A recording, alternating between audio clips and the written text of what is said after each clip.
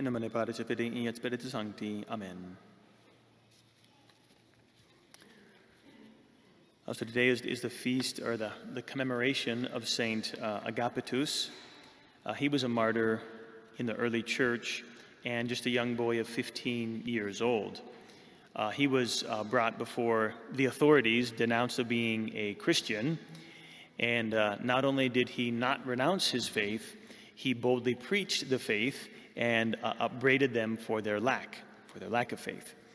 Uh, so as usual, he was, he was tortured and finally uh, condemned to be thrown to the wild beasts in the arena, but they would not touch him. And so uh, he was beheaded, and thus uh, Saint Agapetus uh, became a glorious martyr, and we remember him even today. Uh, but I would like to speak today uh, at, more at length about Saint Jane Frances de Chantal, uh, the, the, founder of the Visitation and um, spiritual directee of Saint Francis de Sales. her feast is coming up this Sunday, uh, so we won't be able to have a chance to hear about her, so I will speak about her today. Um, so St. Frane, Jane Frances de Chantal uh, was uh, from the years 1572 to 1641. Uh, she was a noblewoman, and she married the Baron de Chantal at age 21. And she um, had six children, uh, but three of whom died in infancy but she had a very good marriage. She was a very beautiful woman, but also excelled in the virtues of modesty and humility, um, understanding what the purposes of physical beauty were.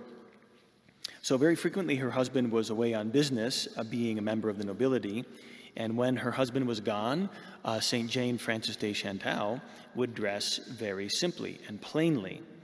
And people remarked at this, being of her status, she should be dressing up more. But she replied, The eyes which I must please are a hundred miles away. So she only dressed up for two people her, uh, her, husband and God. And those are the only times she would dress up, going to Mass or when her husband was, was, was at home.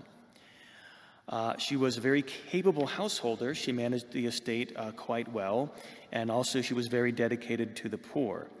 Uh, she personally gave bread and soup to everyone who came to the door, and in fact, some poor persons, after receiving alms, would go away but then come back, pretending to be somebody else. And she knew who they were, but she would give them alms a second time. So she was asked why she did this, why she didn't send them away for their dishonesty. But she replied, What if God sent me away when I came to confession for the same sins? So, very, uh, very supernatural attitude. Uh, so, despite, I mean, her happy marriage, it, it was only happy for seven years uh, because her husband was killed in a hunting accident. Um, he was uh, shot by one of his friends who was out hunting with him, and his last words as he lay dying were to the man who had killed him. And he said, Don't you hate yourself, for you have done nothing wrong. And then he expired. Uh, so, a great example of forgiveness from the Baron de Chantal uh, but it wasn't so easy for uh, Jane Frances. She struggled very much with forgiving the man who had killed her husband in this accident. And in fact, it took her years, years of really working at it to where she could even stand the sight of him. Uh, but she kept praying, she kept asking God for help, and eventually, not only did she overcome her anger and bitterness towards this man, she was actually able to serve as godmother to one of his children.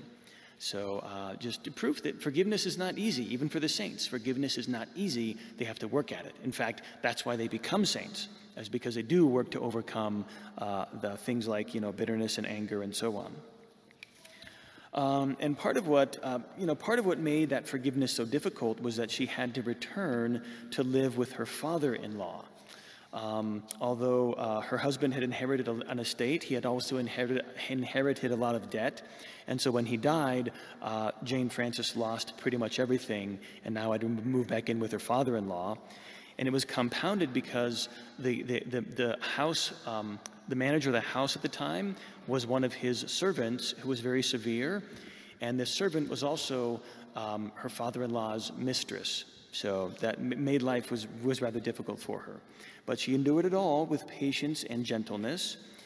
Um, and what, what helped her out through these difficult times uh, was she finally acquired a spiritual director uh, by the name of St. Francis de Sales. And um, so he was, he was greatly influential in her, of course, as we know. And uh, at first meeting with him, uh, St. Jane uh, uh, told St. Francis that she wanted to join a convent of nuns, being a widow, uh, but he told her to wait. Um, but after three years uh, of direction under Francis de Sales, he finally told her that not only uh, was it that she wasn't going to join a convent, Francis de Sales wanted her to found a convent. And so he, she did. between Jane Frances de Chantal and Francis de Sales, they established the Order of the Visitation uh, Nuns. Uh, and this was an, this was an interesting uh, thing at the time. It was kind of uh, revolutionary for, for uh, religious orders, we could say. Um, it took its name, the, the visitation, St. Francis called it that, Francis de Sales, uh, after Our Lady visiting her cousin Elizabeth and helping her in those final um, months of pregnancy. So this convent was going to be um, an active order. It was not going to be cloistered or contemplative, but it was going to be active, uh, kind of going around and helping people. And furthermore, even, even more strangely, um, it was going to accept any, anyone, any woman, old or young, sick or infirm, uh, could apply and join this convent, which was very unusual because at the time convents were strictly cloistered and if, if a woman couldn't handle the, the physical austerities of the fasting and penance that, that, that cloistered convents did at the time, they, they would be sent away. So you had these young girls wanting to, to give themselves to Christ, to a life of prayer and service, but they had nowhere to go. And so uh, Jane Frances de Chantal and Francis de Sales uh, established that order of the visitations. Uh, in fact, at one point, um, I think Jane, um, St. Jane took in a woman who was 83 years old and took her in as, as a nun. So, and she was criticized. She was criticized for it, but she says, What do you want me to do? I'm on their side. I'm one of them, is what she would say about the, the, the, these, these poor sick persons. She re- realized that in herself. Um, but of course, they were, they were um, anytime you do something that's very pleasing to God, or I would say rather um, extraordinary, out of, out of the ordinary, uh, unusual, uh, you'll meet with criticism and resistance. And so that um, is what happened with, with this order of the visitation. They were, in fact, ordered to stop. Um, they had to be cloistered for a time. They were ordered to stop being so um, active. Uh, and they did. So they were shut down for a number of years, um, but after which they were allowed over time, uh, through prayer and, and, and petition, they were allowed to recontinue. Um, it was for this community of nuns that St. Francis de Sales would write his book, A Treatise on the Love of God.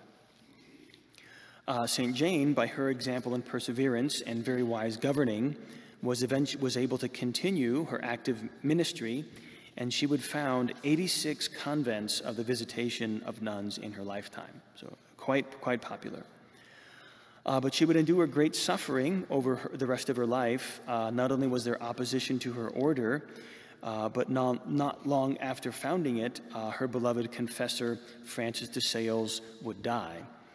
Also, uh, one of uh, her son would be killed. Um, a plague swept through France, and her daughter in law and son in law would also die.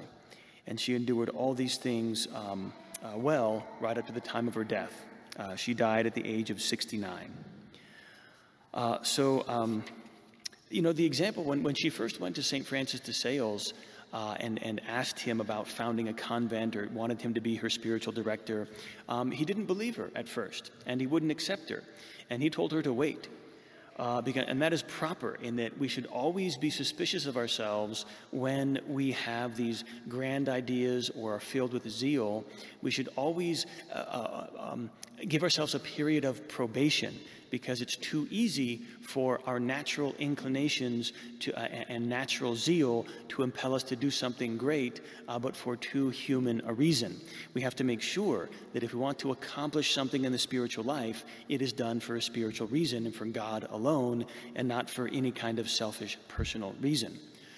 And so St. Francis uh, was able to, he proved the virtue of uh, Jane Frances de Chantal not by the um, extraordinary uh, visions that she would have or her extraordinary desires for God, but by her ordinary piety. That is how you prove somebody's sincerity. How is this person ordinarily? What is their daily practice of virtue? How are they in normal circumstances? That is how you prove the sincerity of somebody's extraordinary beliefs. And so we should take that to heart uh, anytime, because uh, something I, I forgot to mention uh, St. Jane Frances de Chantal, when, when she left to found her convent, she left behind two teenage children. She had a daughter and a, and a young son. And she left them behind and left them in the care of others. Uh, very unusual. So that is not something that ordinarily would be done, but only after a great period of discernment. And that's how you do it. Uh, as I said, you have to look at not your extraordinary desires, you've got to look at your ordinary piety. So I'd encourage everyone to do that. Look at, look at ourselves and look at our daily activities, our thoughts, words, deeds, our omissions. Are we self disciplined? Are we careful in prayer? Are we attentive in prayer? Or, or are we always being blown about, right? Whatever our faults uh, may be, look to the solidity of normal virtue, and that's how we can tell if something extraordinary comes along. Uh, you know, is it from God or is it from ourselves? Uh, so, in any case, we can always uh, uh, turn ourselves to those daily duties and try to do them as best we can, as did St. Jane Frances de Chantal. Uh, let us ask for intercession. God bless you all in the name of the Father, Son, and the Holy Ghost. Amen. Thank you for listening. Please remember to click subscribe and to hit the bell for notifications. And in this age of censorship, please consider helping support us at sensusfidelium.com. Under the Donate and Support tab, there are plenty ways to help support the work and to help grow and sustain the efforts of Sensus Fidelium in general. May God reward you, and thank you very much.